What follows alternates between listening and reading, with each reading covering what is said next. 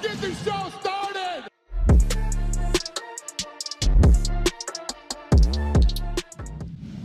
In today's video, Israel Adesanya posts intense sparring footage with Dan Hooker. Francis Ngannou gives an update on his UFC return. Adesanya takes a shot at Alex Pereira ahead of UFC 276. Dana White reveals Jon Jones will face Ngannou or Miocic in his return. And Joaquin Buckley criticizes the UFC's middleweight roster. Let's roll.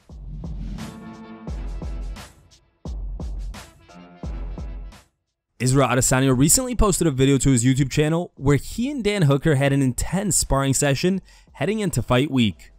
Here's the footage.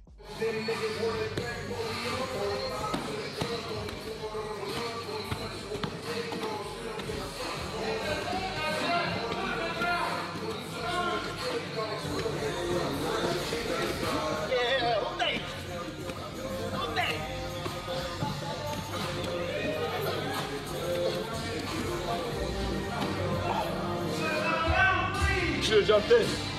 I'd have smashed your face in. I'd have smashed your fucking face in. I'd have smashed your fucking face in. Come on, bitch. You're a fucking bitch. bitch. Ah.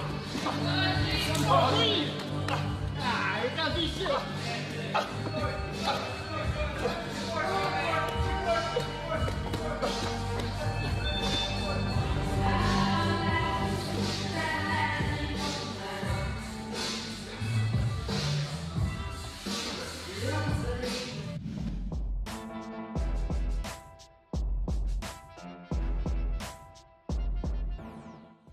Back in January at UFC 270, Francis Ngannou managed to overcome some real adversity by defeating Cyril Gane despite dealing with a nasty knee injury.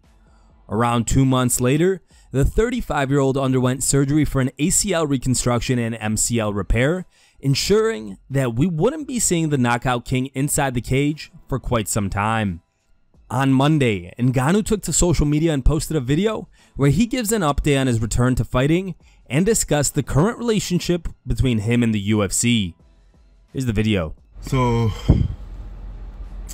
I'm gonna be start. Um, I'm gonna start training wrestling like uh, maybe in two to three months, according to the doctor. Um, as everything is uh, moving good, and um, by the time I think we might get some, we might sort out some situation as far as uh, contract concerned. So I will know if the tra- the training will be for a specific fight or not yet. But um, yeah, speaking of the wish, we are. Um, I assume they are busy this week.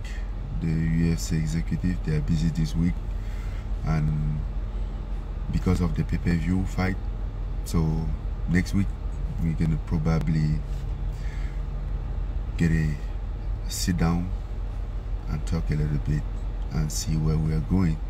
Not being training get me excited about fighting so much. Like I want to go back to the gym. I want to do everything, you know. Um, the other day, I think I believe was Saturday or Sunday. Yeah, I was watching this uh, movie on Netflix, Hustle, and that movie was so motivating, so exciting that I after watch watched it, I went out, um, put in my shoes to go run because I was fired up. Then I realized, damn, I can't do it. I can't run outside like right now, you know. So because I have that that need, I have that feeling.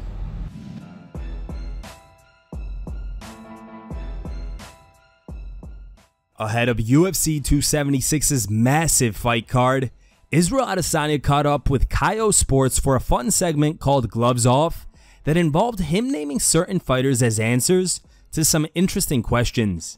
One of the questions asked was, who does Izzy believe is the most overhyped fighter currently competing in the UFC? Almost unsurprisingly, the champ named his former foe, Alex Pereira. He said, I'm going to go with Alex Pereira because I'll make him look easy.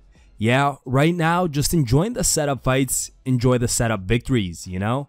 Yeah, that's overhyped. Also, during a UFC press conference in Sydney, Australia, Adesanya discussed whether Pereira deserves a title shot if he beats Sean Strickland this Saturday.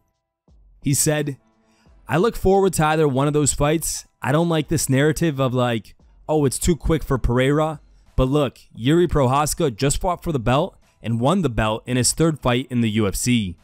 I think Anderson Silva did it in the second fight. So that's fine. He's new to MMA. I've been in this game for a long time. What do you guys make of these comments from the champ? Do you also believe that Alex Pereira is the most overhyped fighter in the UFC? Let us know in the comments section.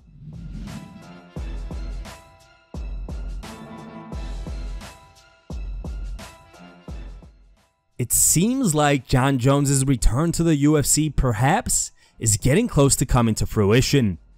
During a recent interview on the Jim Rome show, Dana White revealed that Jones is just waiting on an opponent and it will be either Francis Ngannou for the undisputed title or Stipe Miocic likely for the interim belt. He said, Jon Jones is ready to go. We're just waiting for an opponent. It's either going to be Francis Ngannou depending on how long his knee is going to take to recover, or Stipe Miocic.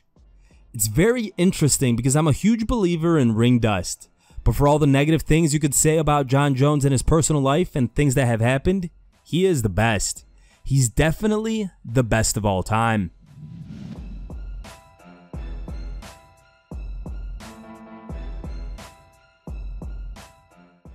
In an interview with Jimmy Smith on SiriusXM Fight Nation 156, Joaquin Buckley, who is known for the viral knockout of Impa Kasanganay back in 2020, discussed the current state of the UFC's middleweight division and criticized the roster for not wanting to fight the champ.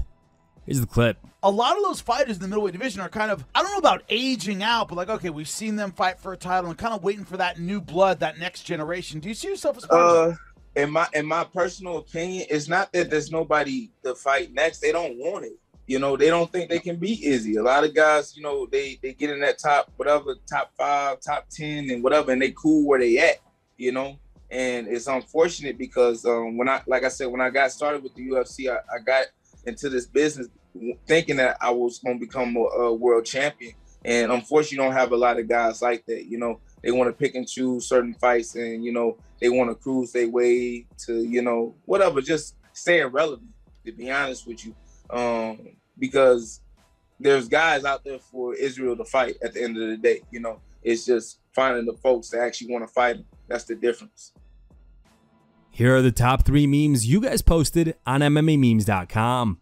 In third place is a meme posted by user Milena. Second place goes to MMA Fuhrer. And the number one voted meme was posted by a user named UFC Legend.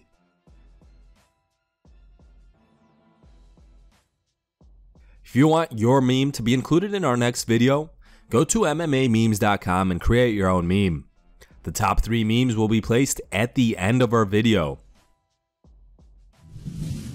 Thank you guys for watching. If you liked the video, please leave a like and subscribe to our channel to keep up with the latest MMA news.